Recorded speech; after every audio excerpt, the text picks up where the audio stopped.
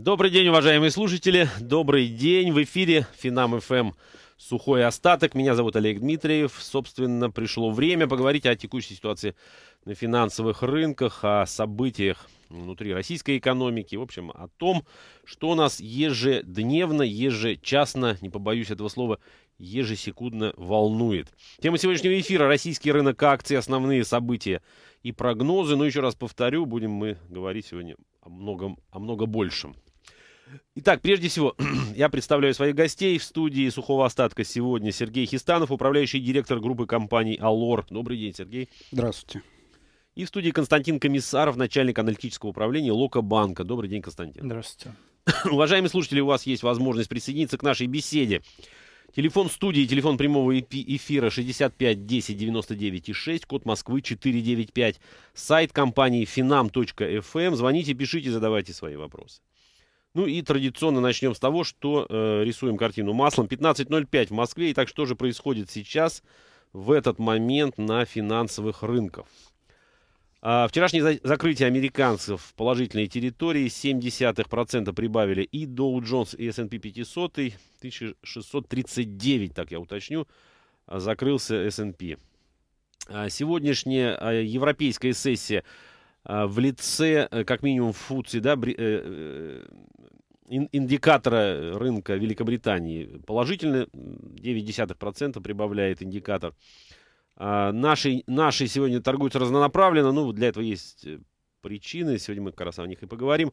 Итак, РТС сейчас теряет 0,1%, ММВБ, напротив, прибавляет 0,8%.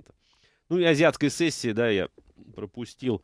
Никей закрылся чуть ниже ватерлинии на 0,1% и столько же прибавил Шанхай Композит. Ну, так можно говорить, разнонаправленно сегодня азиатская сессия торговалась. Значит, смотрим на сырье и на Форекс. Бренд, нефть марки Бренд держится чуть выше 105 долларов за бочку. 105.31 золото, 1376 за унцию. И евро-доллар э, выше 1.33. Э, сейчас 1.3377 его текущая котировка. Э, набор голубых фишек в основном положительный. Сейчас торгуется. Газпром прибавляет 1,5%, ВТБ 1,3%, Аэрофлот 1,2%.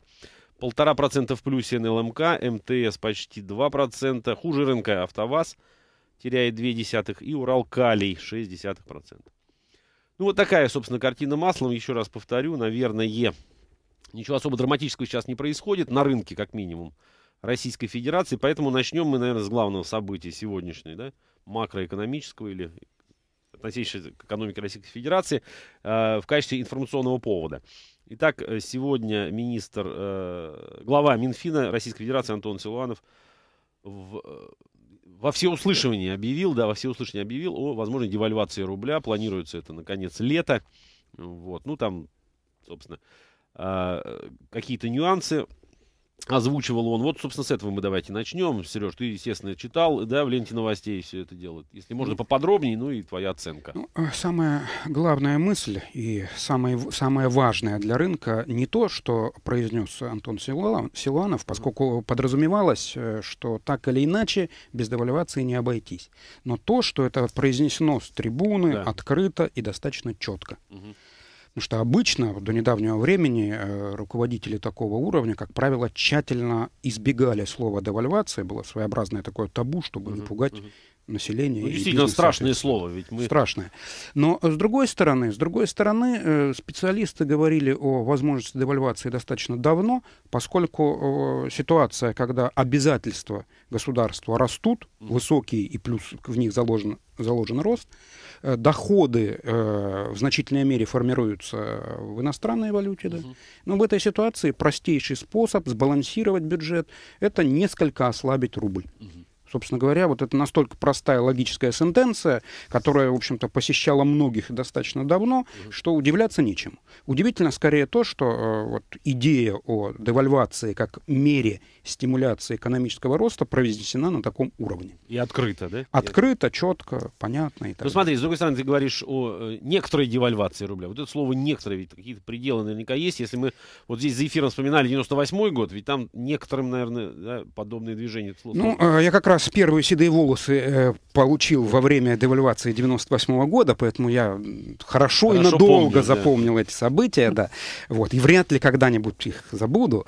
Тем не менее, конечно, ждать такого, как в 98 году, нет ни малейших оснований. Причем главный аргумент, почему большой девальвации там в разы не будет, угу. заключается в следующем. Примерно треть э, потребительской корзины среднего россиянина – это импорт.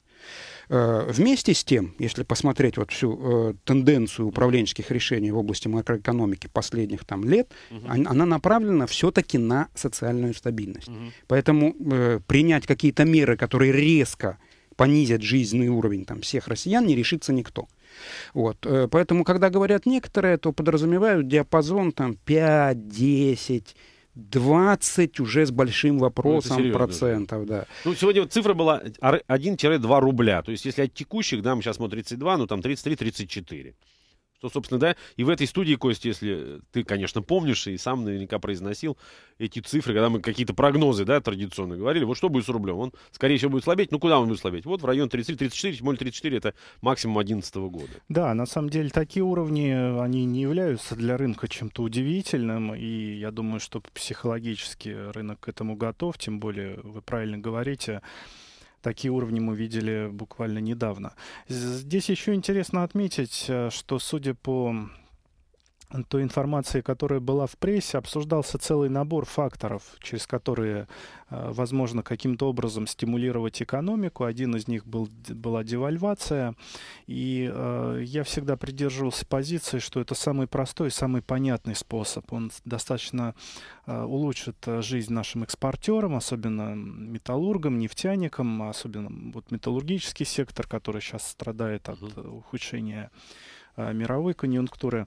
Дело в том, что второй, э, второе воздействие через снижение ставок э, недельного репо имеет достаточно большое количество Э, негативных факторов. Ни в э, ЦБ у него на сегодняшний день нет четкого механизма контроля трансмиссии денег mm-hmm. в экономику.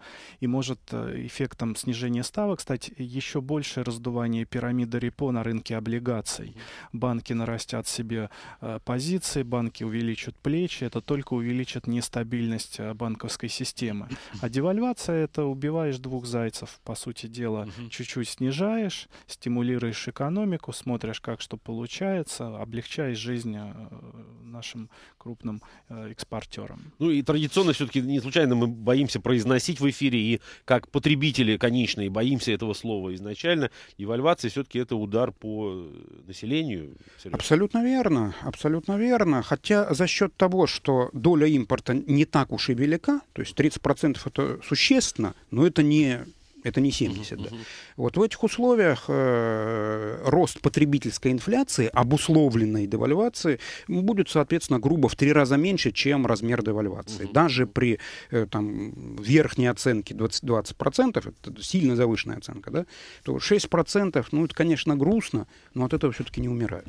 Да, но дело в том, что тут нужно еще один нюанс а, добавить, что существенная доля инфляции, она все же складывается в тарифах естественных монополий, которые точно так же хотят подрезать еще раз. И это очень как такой печальный сигнал владельцам акций энергетических компаний в первую очередь, потому что мы видим, ну так уже переходя на рыночные какие-то истории, что уже второй раз подрезают директивным образом, э, вмешиваются в рыночный процесс, и никто не может сейчас дать гарантии, что в третий раз это произойдет, в четвертый и в пятый.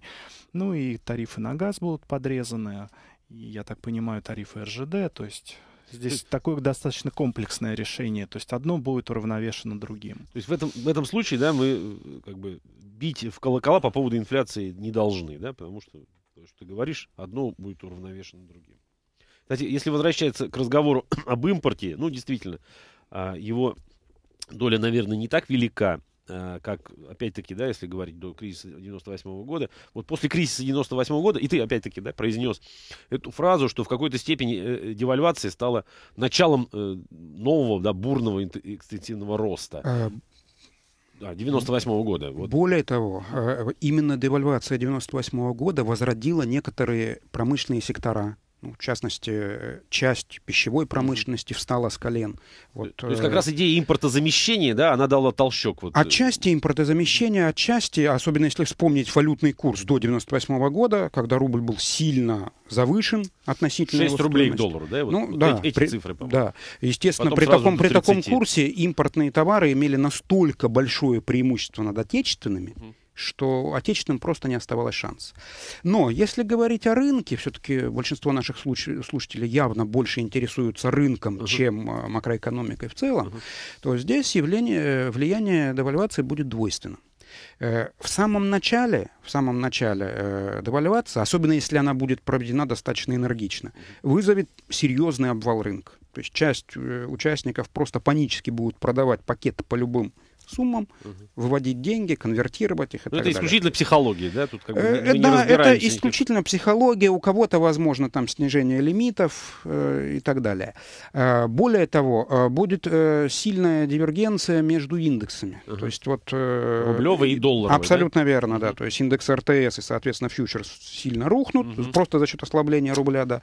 А вот ММВБ будет Сережа, вести извини, себя я тебя прерву. Кстати, о дивергенции, спокойно. вот мы сегодня ее уже и наблюдаем, такой краткосрочную. Сейчас новости на Финам ФМ, потом продолжим. Итак, друзья, продолжаем эфир. Сухой остаток на Финам ФМ. Меня зовут Олег Дмитриев. Сегодня в студии Константин Комиссаров, начальник аналитического управления Локо-Банка, и Сергей Хестанов, управляющий директор группы компании «Алор». Обсуждаем мы текущую ситуацию в российской экономике и, собственно, переходим к российскому рынку акций. Сереж, я тебя прервал по поводу да, дивергенции. Вот на, да, э, относительно дивергенции. Угу. Естественно, а, девальвация придет к тому, что рублевые цены будут стагнировать или несколько снижаться, угу. валютные цены, естественно, рухнут. Это приведет к сильному расхождению индекса. Угу. Но, опять-таки, вспоминая динамику рынка после кризиса 98 года, не 2008, а 98 года, нужно отметить, что именно девальвация послужила фундаментом стратегического роста российского рынка. Именно после девальвации наши акции в иностранных валютах стали очень дешевы, угу. не просто дешево, а очень дешевы, что спустя некоторое время ну, когда уже иностранцы убедились, что дальнейшая девальвация, скорее всего, уже закончилась, uh-huh, uh-huh. соответственно, рубль упал до вблизи своего дна. Вот тут вот начался подход э, мощных стратегов, которые заложили основу тренда, который длился 10 лет. Uh-huh. Вот, поэтому, если девальвация, дай бог, будет не слишком маленькой, то, с одной стороны, это поможет экономике и разгрузит бюджет, а с другой стороны, вот после вот этих вот э, панической реакции участников, заложит фундамент дальнейшего роста рынка. Угу, Поэтому нет худа без добра. Да, согласен. Кость, как ты думаешь, в принципе, можно вот так вот э, прямо э, сейчас э, сравнивать, да, то, что было в восьмом году, в 98-м причем, да, я почему, и то, что может быть сейчас. Э, есть ли у э, российской экономики запас хода, вот э, то, о чем сейчас Сережа рассказывал? Ну, я здесь, честно говоря, придерживаюсь чуть более сложного взгляда на эту проблему. А, дело в том, что в 1998 году, вот если смотреть на макроэкономику, конечно, в стране были очень сильные преимущества по факторам производства. Uh-huh. Дешевый труд, дешевые цены на электроэнергию, дешевые цены на газ. А, если посмотреть на сегодняшний день, а, все эти а, факторы исчерпаны. Цены на электроэнергию выше, чем в Штатах, в отдельных регионах. Цены на газ выше, чем либо сопоставимые с американскими. Uh-huh. Цена труда достаточно тоже высокая. А, соответственно, мы видим просто по многим промышленным предприятиям, что если в 98 году после девальвации, как коллега правильно говорит, их продукция стала дешевая при, ну, при худшем качестве, но деш дешевле, чем западные аналоги, особенно в машиностроительном секторе, то сейчас а, она дороже, чем на Западе, и она хуже. И при этом хуже. И дороже по той причине, что советская промышленность строилась под решение масштабных э, гиперзадач. А на Западе технологические процессы шлифовались годами, и эффективность это видно не только по промышленности, это видно и по банковскому сектору, по многим другим секторам Просто за счет оптимизации, за счет отшлифовки бизнес-процессов она намного выше. Ну и давайте не будем забывать, что в, 90, в конце 90-х годов, конечно, был глобальный приток э, интереса к развивающимся странам, и это была одна из таких глобальных фишек. Росла не только Россия, росла Бразилия, Китай, т.д. и т.п. Э, насколько можно сейчас вот все это перенести, хотя, конечно, в какой-то степени мы увидим, что это хороший сигнал для нефтегазового, в первую очередь, сектора и металлургического. Да, Сереж. Ну, хотел бы акцентировать внимание, что вот э, те факторы, которые абсолютно правильно указаны, прежде всего э, факторы капитала, да, стоимость, э, э стоимость труда, ресурсов, в результате девальвации их реальная стоимость снижается, что несколько приближает, конечно, нельзя прямые параллели проводить, к 98 году. И вот яркий пример, который мне очень хорошо помнится вот из той эпохи. Вот сколько лет прошло, а помню очень живо. У меня э, там, знакомый обладает производством макарон, небольшим производством. И вот я до сих пор помню, как он радовался 98 году. Как он хорошо сказал, говорит, ну и что, что мои макароны э, слегка серые и немного слипаются, да. Зато, говорит, очень дешевые, и народ берет с удовольствием. Да. Вот. Поэтому э, действительно э, некоторые сектора буквально поднялись с колен в результате девальвации, особенно это касается пищевой, пищевой отрасли, производства мороженого, молочных продуктов и так далее. Хотя здесь э, определенное вот новое веяние, которого не было в 1998 году, это, конечно, вступление России в ВТО. Тогда этого не было, и мы пока еще до конца не знаем, как, как это повлияет. Это повлияет. А, ну, пока, да, кстати, про ВТО, если тоже переходить к рыночным историям, мы видим, что, безусловно, оно очень плохо влияет на пищевой сектор. А, мы видим, что, несмотря там на все заверения менеджмента, там, а, скажем, э, группа компаний Черкизова, цена на свинину упала на 30%, и это очень сильно ударило по их прибыльности, особенно в купе с ростом цен на зерновые. Пока эффект скорее негативный. Ну, здесь тоже э, есть э, разные, иногда взаимоисключающие моменты. Э, дело в том, что как раз э, мясная отрасль у нас наименее конкурентоспособна в сельском хозяйстве. Угу. Вот люди, которые бывали за границей, там, вне туристических местах, наверняка удивлялись, насколько дешевле мясные продукты в Европе, где э, выше налоги, дороже труд, дороже сырье, угу. а результат получается дешевле. А почему это так? Э, скорее все упирается в пресловутую административную ренту раз и отсутствие нормальной, полноценной собственности на землю два. Вот эта вот ситуация, когда отсутствует полно, вот, э, до сих пор у нас нормально владеть землей, вот сельскохозяйственного значения, невозможно. Угу. Там существует, ну, слишком долго в данной передаче перечислять, угу. много ограничений. И в результате большинство наших сельхозпроизводителей, кто именно вот на земле работает, вот, они находятся в ситуации, когда они до конца не уверены, останутся ли они собственниками этой земли через 5 или через 10 лет. И вот в этих условиях масштабно вкладываться в ирригацию, в улучшение плодородия почвы, почвы, закупать дол- дорогостоящее, которое долго будет окупаться, оборудование невыгодно. И вот это приводит к тому, что единственная вот часть нашего сельского хозяйства, которая безоговорочно конкурентоспособна, это производство зерновых, прежде всего фуражного зерна. Угу. Мы значимый игрок на мировом рынке, это говорит о многом. Да. Вот. Наши конкуренции с нами, вот без, без преувеличения, боятся американские, канадские, аргентинские производители, что, в общем-то, положительно характеризует наших производителей фуражного зерна. Я понял. Так, хорошо. Тогда э, давайте посмотрим на ближайшие события. И с точки зрения внешних факторов, э, говорили мы уже об этом и вчера, и на прошлой неделе анонсировали. А сегодня начинается, завтра заканчивается двухдневное заседание Комитета поставка Федрезерва. Э, соответственно, будет выступать господин Бернанке. А, все э, рыночные игроки, да, все участники рынков ждут неких намеков, неких сигналов на то, будет ли сворачиваться программа количества смягчений, не будет ли она сворачиваться, или если будет, то в каком масштабе. Вот с этой точки зрения, Сереж, во-первых, что, как, какие ожидания у тебя лично, да, и как мы а что мы можем увидеть ну, на финансовых? В, в плане ожиданий очень важный момент э, это то, что президент США Барак Обама произнес тоже очень о многом говорящую фразу угу. о том, что э, господин Бернанке очень долго находится на своем посту. Угу. Вот если вспомнить опять-таки достаточно недавнюю историю, то э, чаще всего руководители ФРС находились на своем посту гораздо дольше, чем президенты. Причем гораздо это в разы. Угу. Вот. Ну, тот же Алан Гринспен, сколько лет он был главой. И э, чаще всего президенты менялись, а глава ФРС, в общем-то, оставался на месте. Вот. Этим, кстати, преодолевалось одно из фундаментальных э, противоречий, заложенные в э, любую выборную систему с коротким сроком переизбрания, что политический цикл гораздо короче экономического. Вот, как правило, э, время полномочий главы ФРС э, сопоставимо с экономическим циклом, а иногда даже больше. И вот эта вот фраза, э, а учитывая, что, в общем-то, западные политики не склонны делать необдуманных, в общем-то, заявлений, она говорит о многом. Возможно, возможно, после этой фразы э, господин Бернанко посмотрит в сторону более энергичных действий. То есть, если эта фраза будет расценена как намек о скором возможном уходе, угу. то руки у него развязаны, ему не нужно думать о дальнейшем продолжении карьеры в этом качестве, угу. и он может принять, гора, ему гораздо легче принять непопулярное, но нужное решение.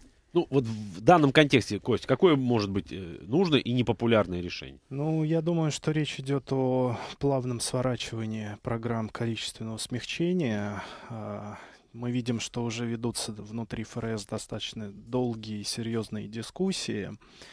А, но мне кажется, что здесь важно еще один вопрос от, отметить. А, почему, на мой взгляд, ФРС близко к завершению. Я не могу сказать точно, произойдет это сейчас или там произойдет это на следующем заседании.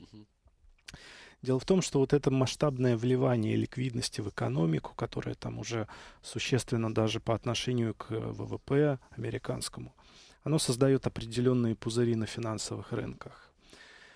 Деревья не растут до небес. Можно разогнать индекс Доу Джонса, условно говоря, до 17 тысяч, до 20. Что будет дальше?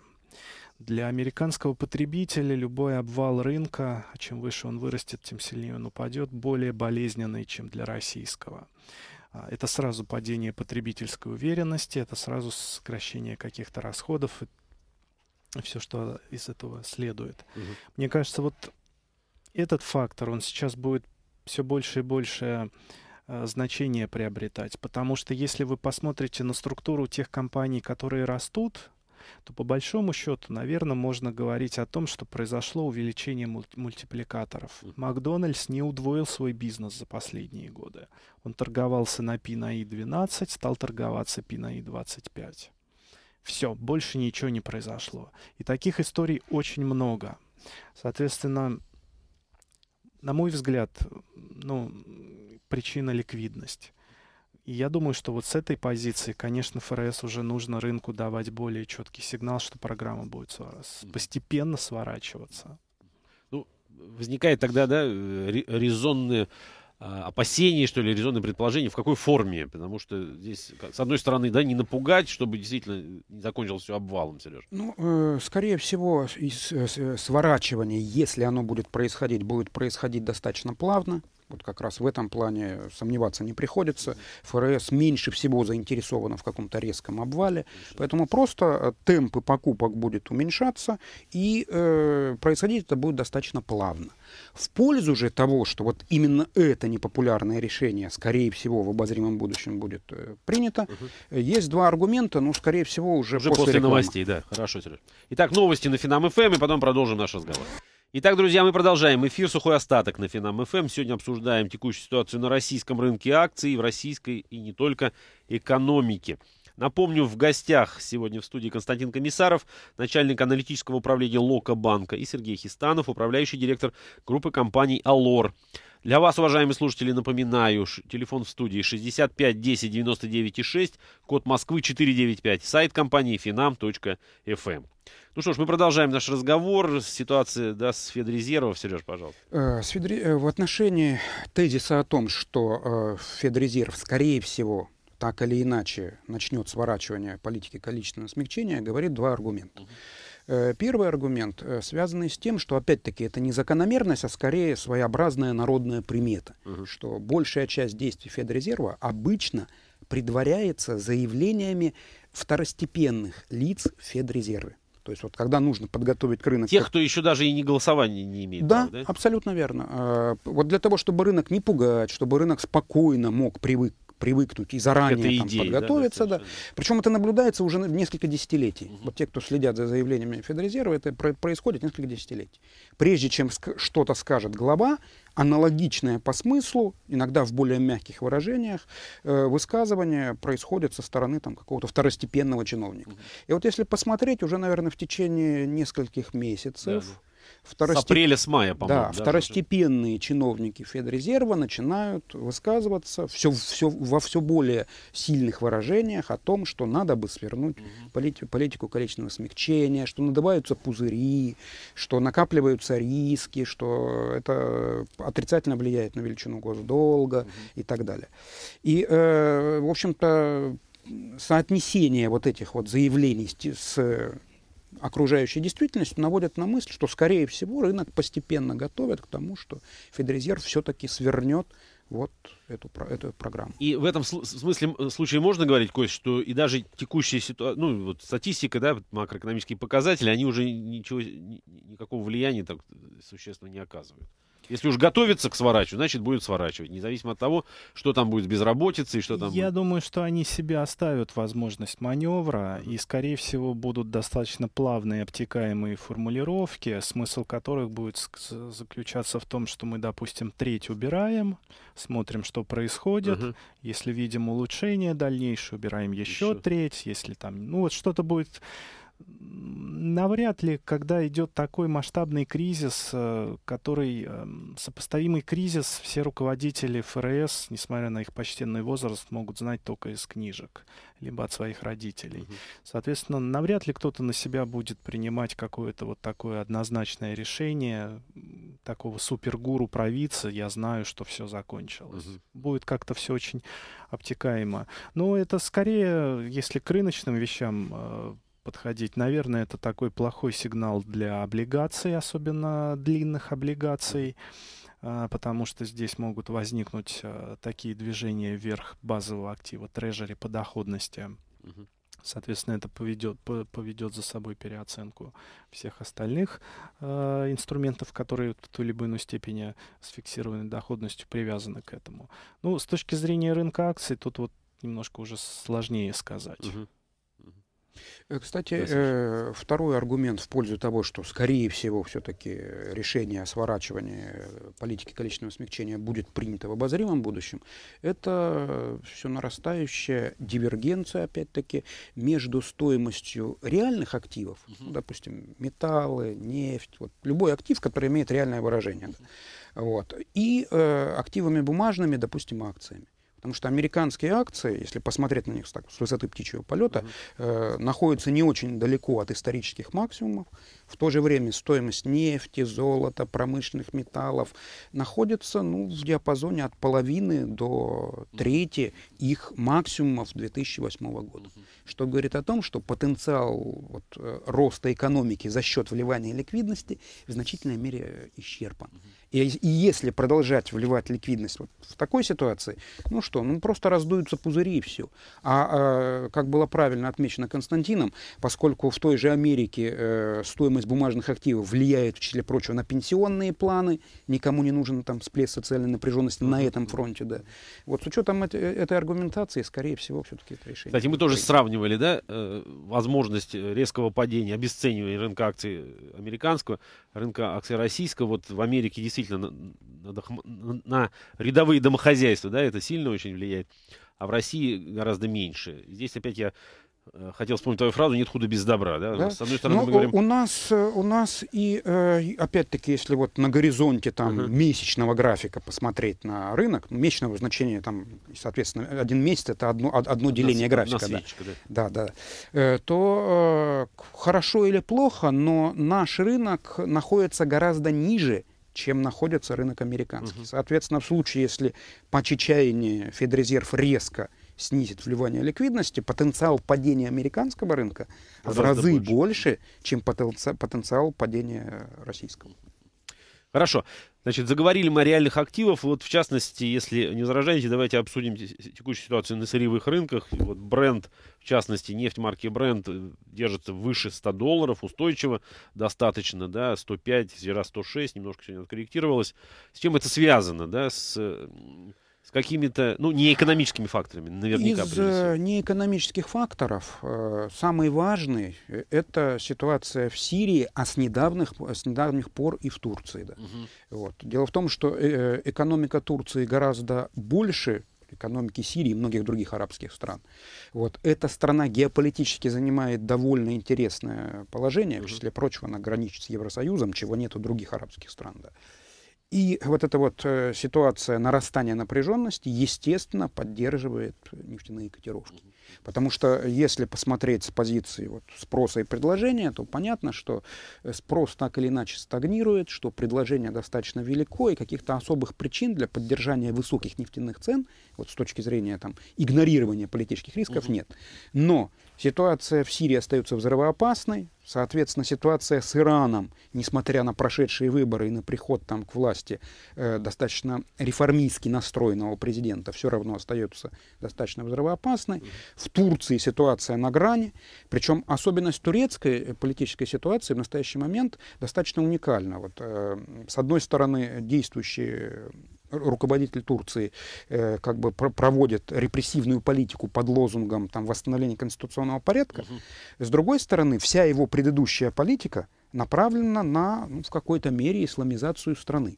А э, демонстранты, которые, с одной стороны, как бы дестабилизируют ситуацию, выступают под лозунгами Ататюрка, то есть светского развития страны, что очень сильно осложняет для западных лидеров даже реакцию, э, в, в, выработать подход реакции на вот эту вот проблему. Ну, то есть традиционно сейчас западные лидеры на стороне, ну, грубо говоря, повстанцев, на, на стороне несогласных, да? С, но при этом формально... Режиме. А да. здесь они как-то вроде бы, да? Да, но при этом формально власть права. Да. Вот это вот создает определенную даже юридическую коллизию mm-hmm. с точки зрения влияния Запада. Но э, есть такая циничная, но верная поговорка, кому война, кому мать родная. Mm-hmm. Для нефтяных экспортеров вот этот вот рост напряженности, естественно, положительный. Mm-hmm. Кость, если возвращаться к Сирии, недавно встречались э, господин Обама, господин Путин, ну, то, э, значит, что они обсуждали, мы слышали, читали или видели по телевидению, а, ситуация обостряется все-таки, да, Россия остается в одиночестве, не согласная с тем, что озвучивает, собственно, коалиция западная. Как, как ну, ты считаешь? Вы знаете, я бы, может быть, э, я не вижу, честно говоря, смысла уводить дискуссию в эту плоскость, uh-huh. потому что это плоскость такой большой политики. Мы не знаем, не понимаем там все подводные камни, и э, вы знаете, политика штука циничная, не делается в белых перчатках, поэтому Э, смотреть на нее с точки зрения там хорошо, плохо, белое, черное, там огромное количество серых оттенков. Э, ну, немножко не наша я тема. Понял, я понял.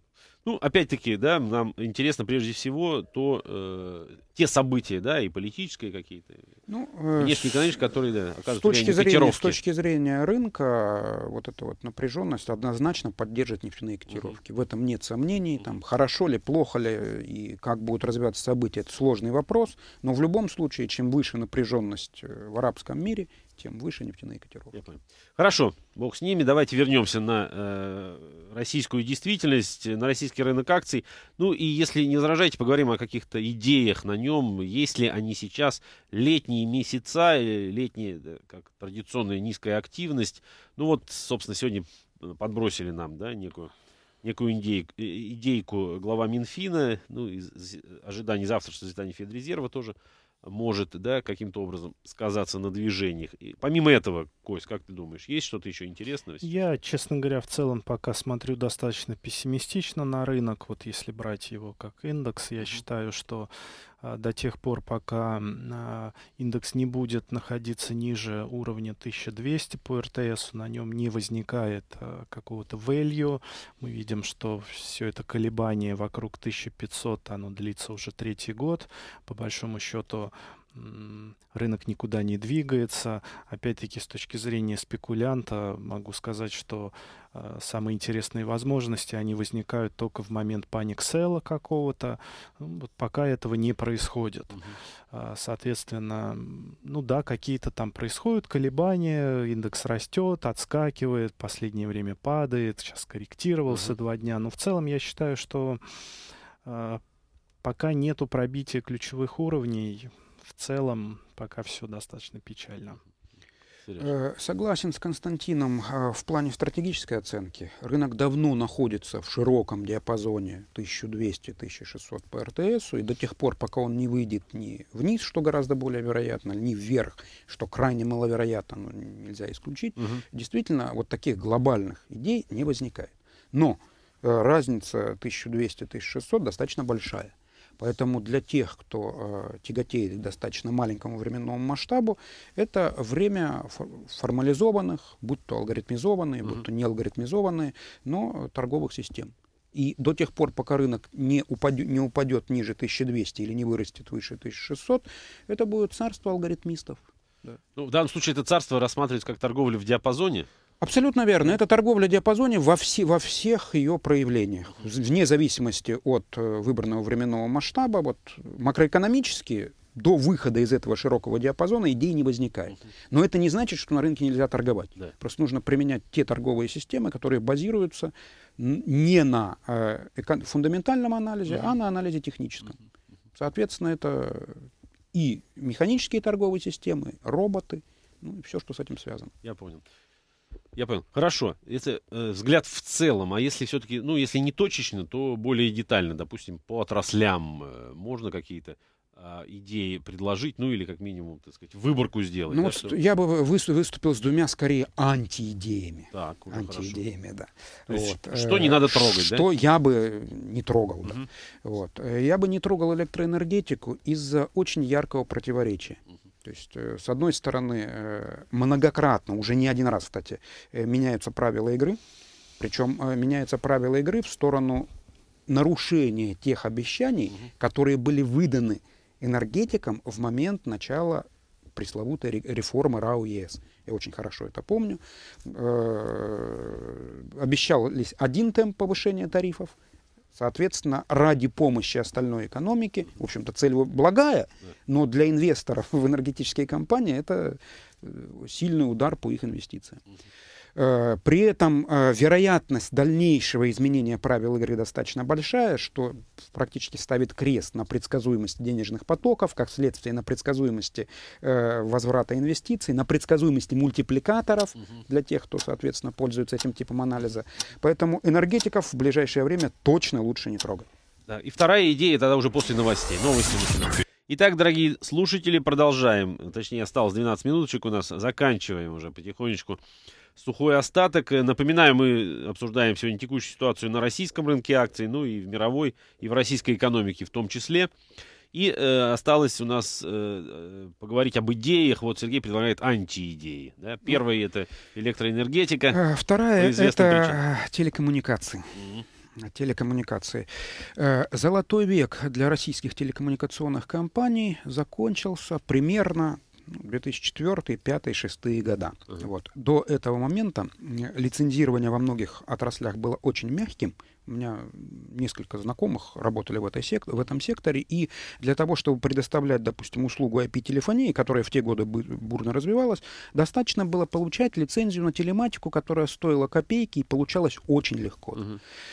Потом в несколько ступеней ужесточили регулирование, и в результате этот рынок э, ну, принял его современное состояние, когда по большому счету осталось три больших игрока в э, системе, в розничном сегменте, да, э, несколько игроков, игроков магистрального доступа.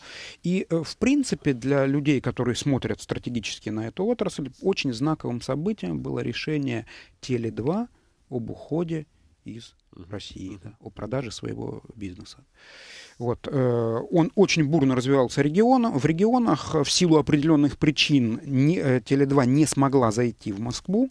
Ну, кстати, вот в тех регионах, где она присутствовала, она пользовалась заметной популярностью из-за того, что достаточно агрессивную тарифную политику проводила при, в общем-то, достаточно хорошем качестве услуг. Да.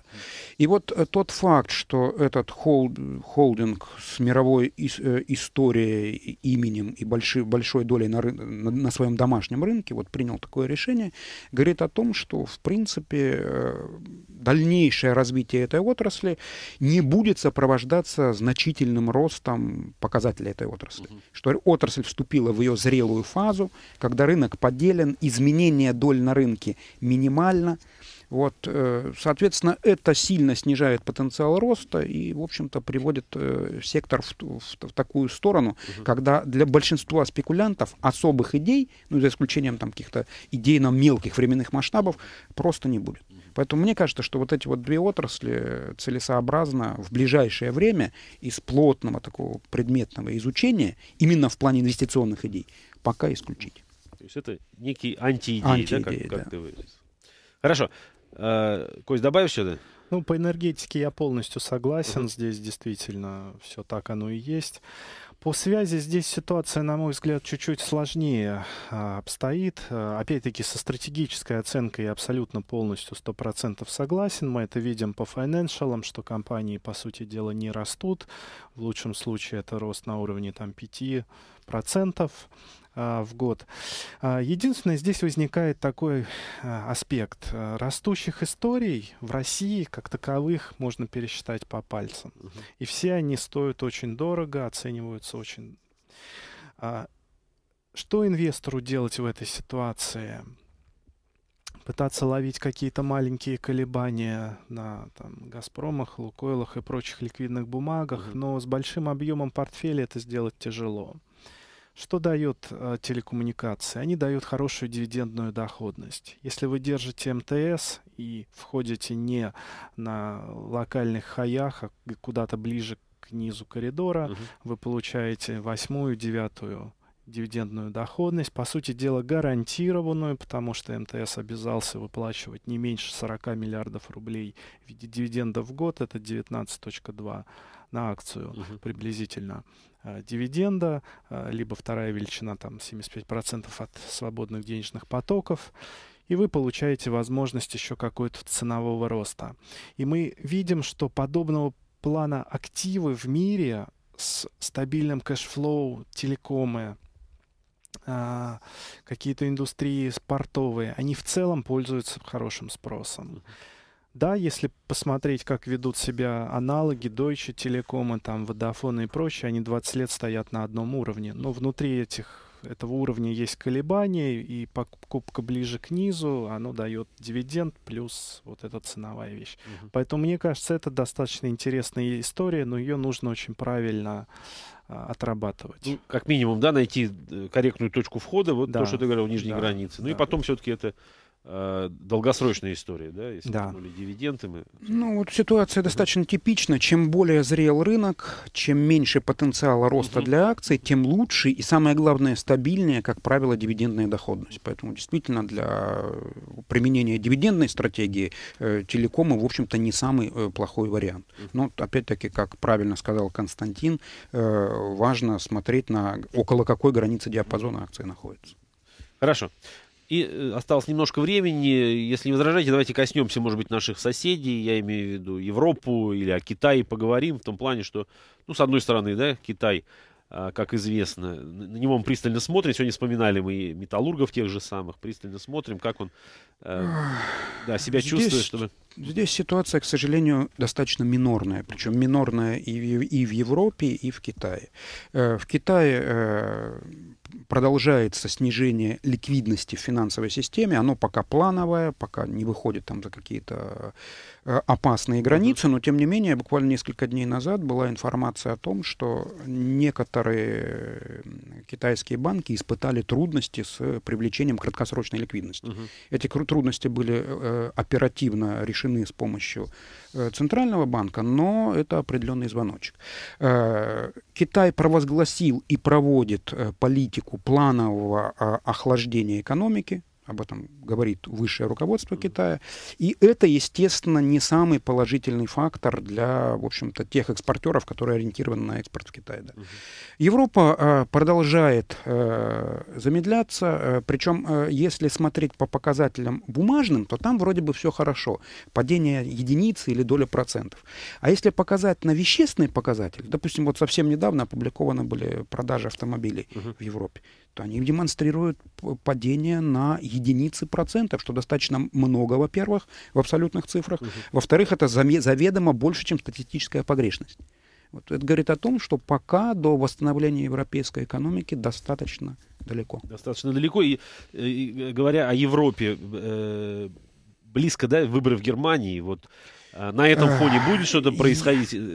Интрига э, немецких выборов заключается в следующем. Э, вот если посмотреть на то, что происходит в развитых странах на выборах, вот может быть кроме Америки, Америка особняком стоит, и опять-таки из-за того, что там выборная система довольно непростая да, и непрямая, что, как правило, правящая партия на выборах терпит крах, и к власти приходит оппозиция.